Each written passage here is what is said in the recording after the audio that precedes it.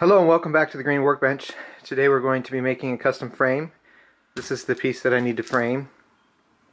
So you can pick whatever wood you want. Um, you can take a board and cut it down to the sizes you want or a lot of times you can just buy wood in a size that will work. Um, I'm going to use this wood that I got in Japan because it's a Japanese print. Um, you want to have at least a half an inch to three quarters uh, for the frame. Uh, it's a lot more difficult if you go thinner than that. So I've got my stock. The first thing I do is to make some measurements. So first you want to measure your print or the matting that you're going to use. Um, so mine comes out to 18 and 3 quarters inches. I'm not going to use a mat because it kind of has a built-in one. So if it's 18 and 3 quarters, the inside of your 45 degree is going to be one half inch less than that. So 18 and a quarter.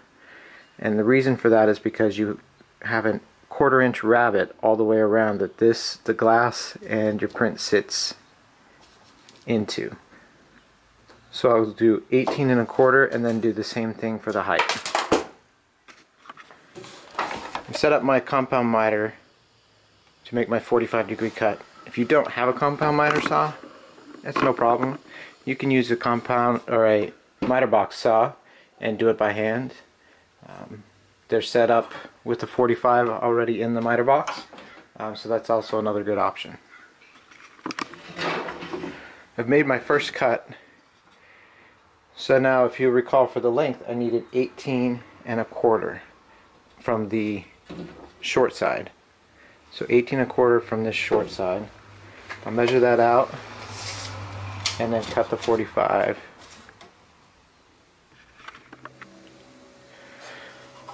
I went in 18 and a quarter. I marked my 45 just to make it easier. And then I have a laser on my, my on my compound miter saw also that helps.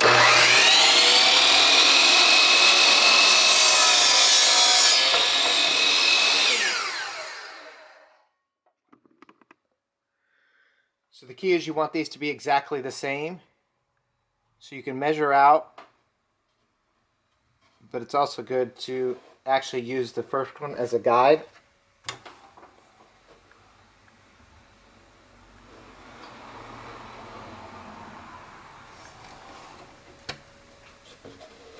get it set and clamp it down make your cut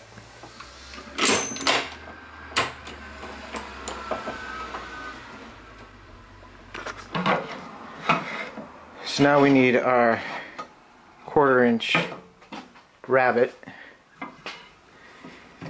so there's a couple ways to do it. You can use a router.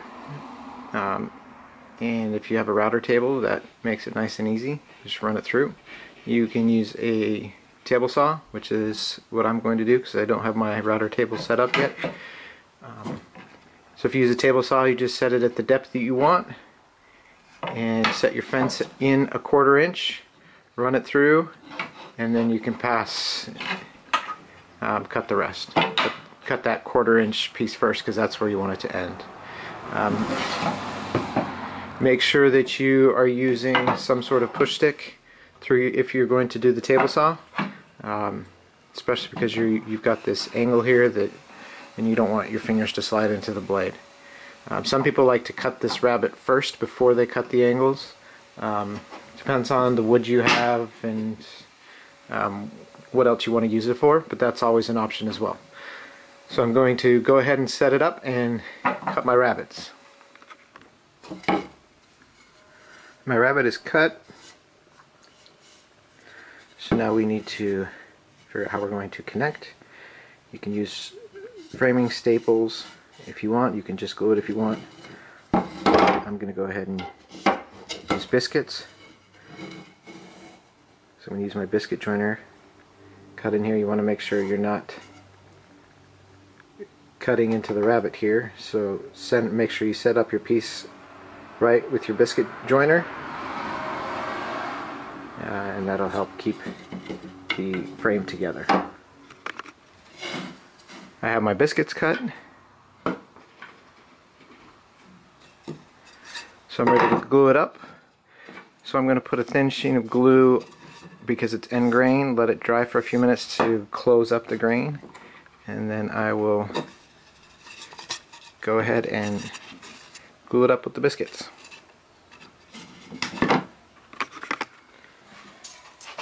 Alright, I've got all my biscuits joints glued up. I've got my framing clamp ready to go.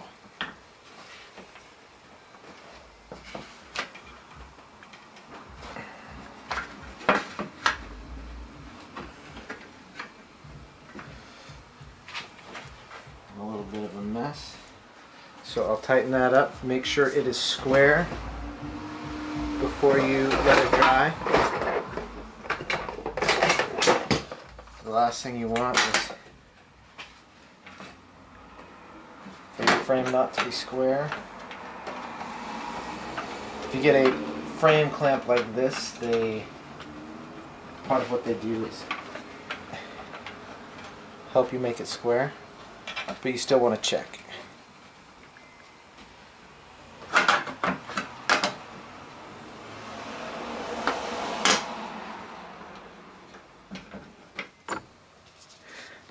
Another option if you don't have a biscuit joiner or a framing clamp it's just used a nail gun and it's not quite as strong but it'll do the job so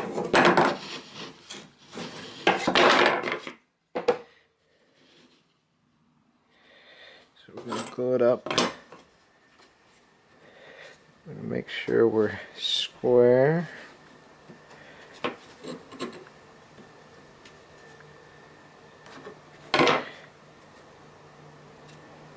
Then we'll just shoot a couple nails in.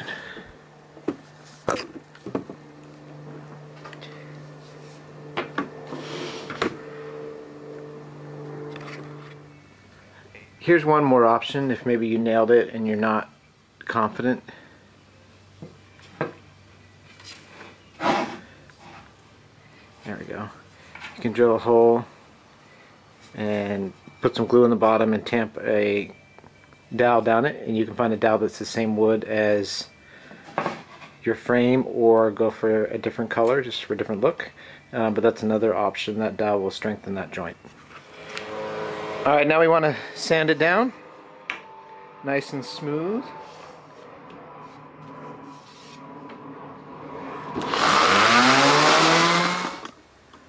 Alright, once it's sanded, ready for some finish.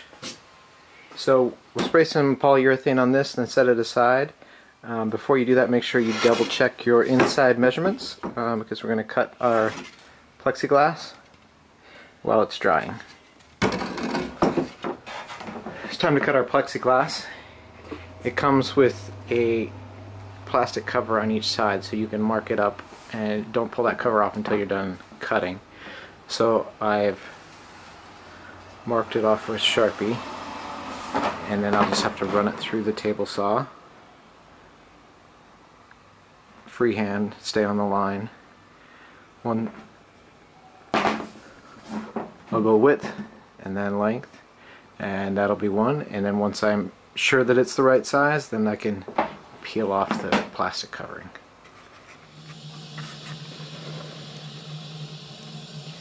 the finish is done my plexiglass is in. Um, I cut this piece of cardboard to be a backer. Um, you can use cardboard is easy or you can cut a piece of wood. Um, fit everything in there. You can use staples like you would see in a frame you'd get from the store. Um, you just staple into the edges and bend them down or you can use a bracket something like that in the corners to hold your piece in. And then you can buy different hanging hardware also at the store. Um, you just hammer this in, or you can run wire across it to hang from. Um, so there's a lot of different options. Alright, it's turned out pretty well.